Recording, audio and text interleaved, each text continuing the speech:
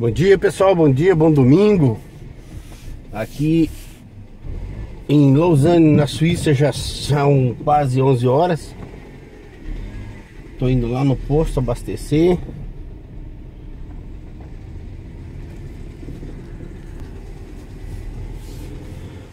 Hoje é domingo, dia 20, 27 né já?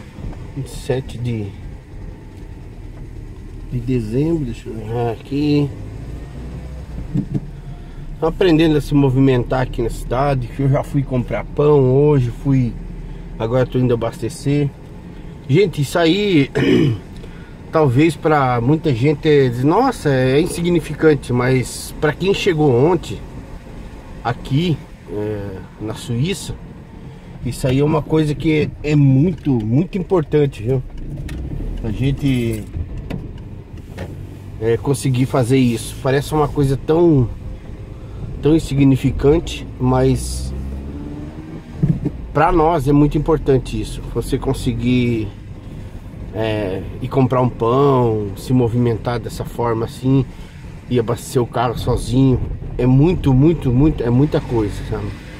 Às vezes você olha assim, nossa, mas é coisa muito simples. Não é, gente. Pra, pra gente que tá começando agora a, a, a engatinhar aqui, você chegar lá e pedir um pão sozinho em outra língua é uma coisa é muito vantajoso para quem tá uma semana aqui.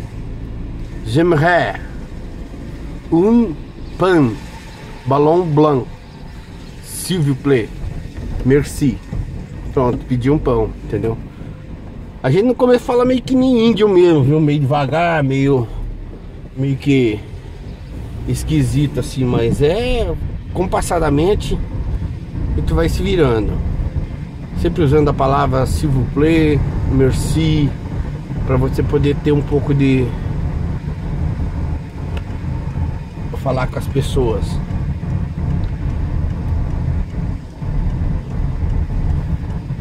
Para quem tá começando agora é muito difícil, viu? É, gente é um orgulho, assim dizer não, consegui comprar um pão sozinho, consegui é, ir abastecer o carro sozinho, conseguir fazer as coisas sozinho assim, é uma coisa, pra, é muito importante, viu?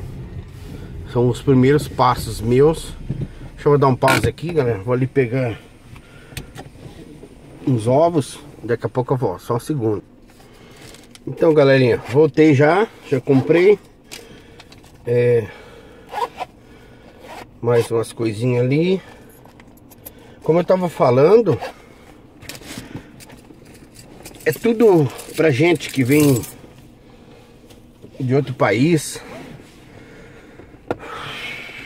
É tudo muito, muito tudo novidade.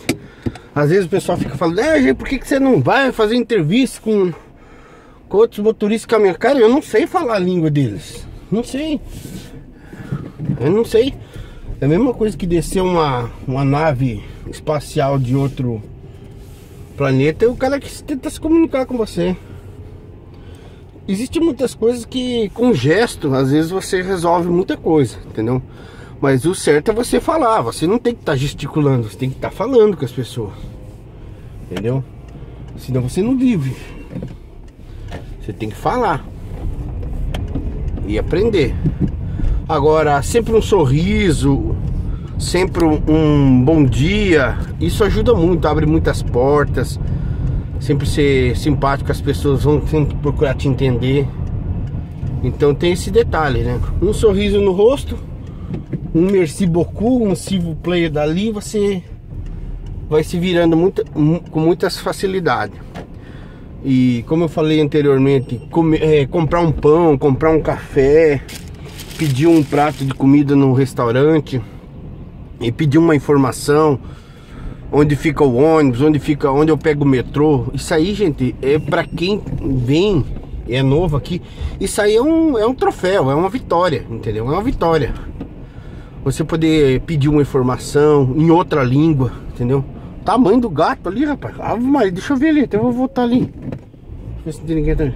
Você não é gato, você é um leão, rapaz. Caramba, rapaz, olha. Tá fazendo um túnel ali, olha lá pra você ver. Ali. Olha o tamanho daquele bicho. Nossa senhora, rapaz. Olha lá, vamos ver se ele ali. No canto. Olha lá. Deixa eu virar aqui. Olha lá, o tamanho do bicho. Só Maria, velho. Isso não é gato não, isso ali é um... Olha lá, rapaz. O tamanho do bicho. Olha. Parece uma pantera, rapaz. Deve ter uns 15 quilos aquele gato ali. Ave mãe. Botei esse negócio aqui pra não refletir. Bem no fim tá fazendo pior ainda. Então, pessoal, aqui nem eu falei. É... Você chegar a se apresentar pra uma pessoa, falar seu nome, é, dizer onde você mora, perguntar onde a pessoa mora. Pra quem chegou um mês num país, numa língua totalmente desconhecida é, é um orgulho. O inglês, o Brasil, no Brasil a gente se assemelha muito ao inglês, porque sempre vê alguma coisa em inglês, um filme, uma coisa, alguma coisa que se fala inglês. Agora, o francês, a gente não tem muito contato no Brasil. É uma língua praticamente é, longe da, do, do, nosso. O inglês você sempre está ouvindo alguma coisa, vendo alguma propaganda em inglês. Agora o francês não. Agora você chegar e perguntar para uma pessoa é, onde que ela mora, por exemplo, é é, où habitez-vous, entendeu? Onde você mora. É, por exemplo, eu falar onde eu moro, j'habite a Renon, entendeu? Você falar onde você mora, você falar com as pessoas. É, tudo isso é um, é um orgulho para começo, assim, quem está começando a, a viver. É, é tudo muito diferente, é tudo muito. Deixa eu estacionar aqui, galera. Eu me sinto orgulhoso de poder ir numa panificadora, comprar um pão e falar em francês, entendeu? Para mim é um orgulho.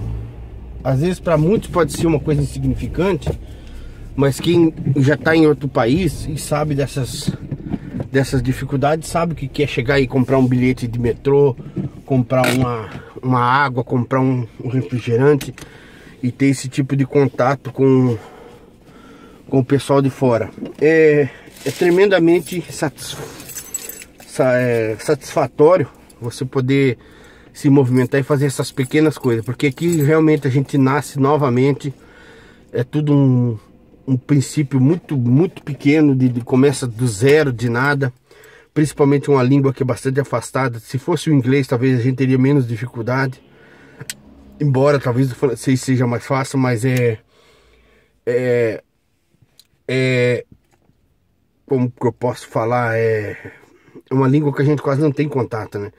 Agora então ir lá comprar um pão, abastecer o carro, é, é, dizer um bom dia, se apresentar, falar o nome, perguntar onde é que você mora, perguntar se está tudo bem.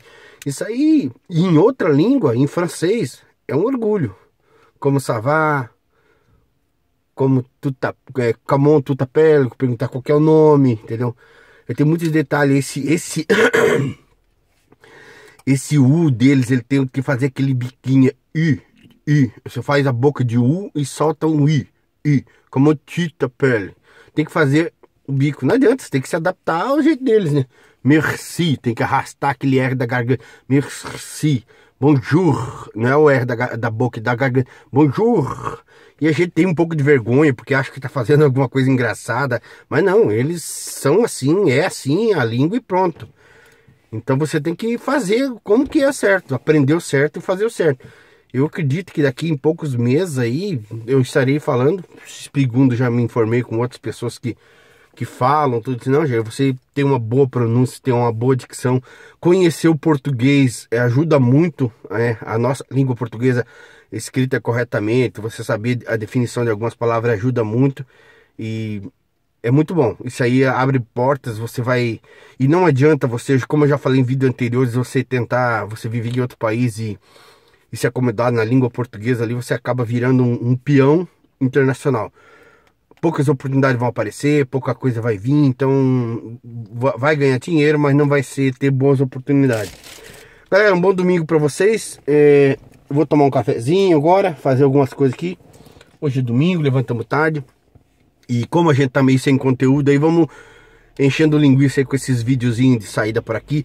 Gente, se eu tivesse assistido vídeos assim, antes de vir pra cá, é, eu já saberia muita coisa. Então, tudo que é informação é importante, é bom, ajuda muita gente. É saber como uma pessoa vive em outro lugar, embora que tem gente que só quer ver vídeo de caminhão, vídeo de caminhão, vídeo de caminhão. Calma, gente, calma. Daqui a pouco vai ter. Estamos só fazendo o processo de adaptação.